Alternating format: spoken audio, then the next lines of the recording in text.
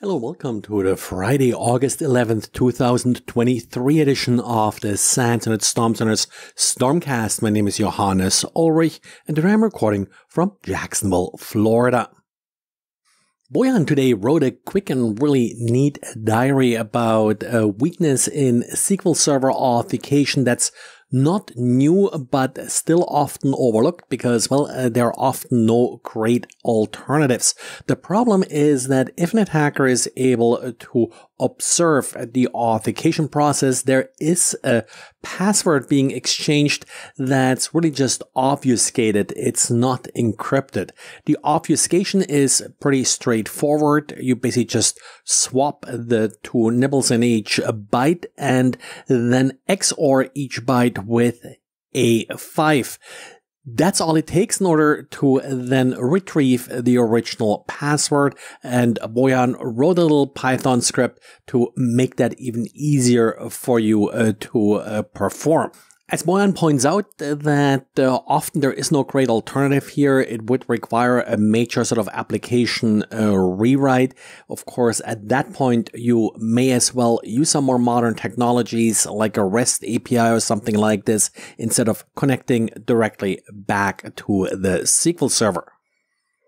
And back in April, Microsoft patched vulnerabilities in Windows Defender, and we now have, thanks uh, to researcher SafeBreach, who originally found the vulnerability, more details about what this exactly involved.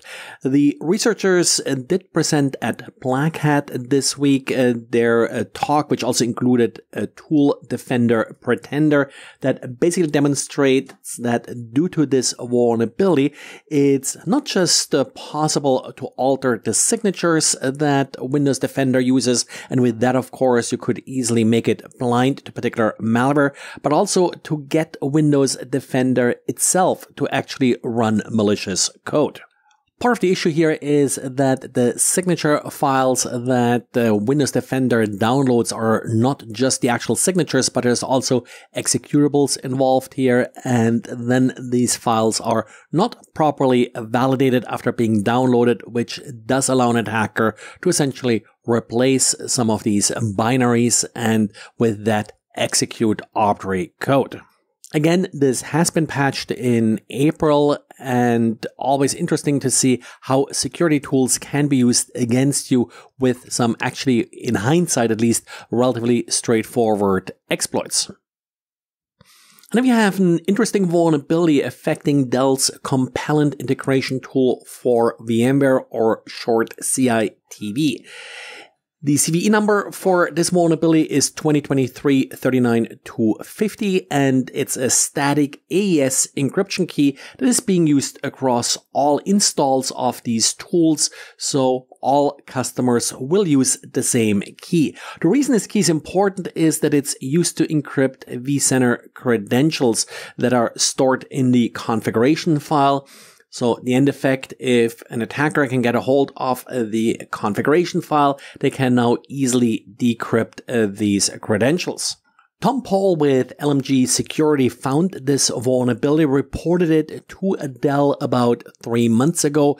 As of yet, Dell has not fixed the vulnerability, but today published an advisory stating that administrators should alter the root password, even though it's not clear if this is really just sort of to change the root password because it may have leaked or if this will actually do anything to help with this vulnerability. A patch for this issue is expected in November.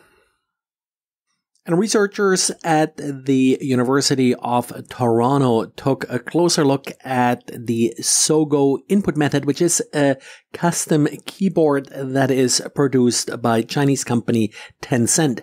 The issue here is that in order to effectively type Chinese, well, It's not easy uh, to do this uh, on traditional uh, keyboards, so that makes this uh, Sogou uh, keyboard so popular, which does use a cloud-based service to essentially provide sort of more intelligent type ahead suggestions. Now, typically you would use TLS in order to protect the connection back to the cloud, uh, which, uh, given that uh, this is used in China, is not necessarily their preferred method. So they did what you should never do. They did develop their own encryption scheme, which they call EncryptWall. And of course, it turns out to be vulnerable. Tencent now at least uh, released a partial fix uh, for the problem, so we'll uh, see if uh, that's sufficient in order to protect the communication. Of course, still not necessarily recommended to use uh, this uh, keyboard. And in general, keyboard extensions that are using cloud components should probably not be used unless you have a real compelling use case here that justifies the risk. Well, that's it for today. I hope you subscribe uh, to this podcast so you'll get it uh, pushed to your device uh, as it becomes available. Tell your friends about it. And thanks for listening and talk to you again on Monday. Bye.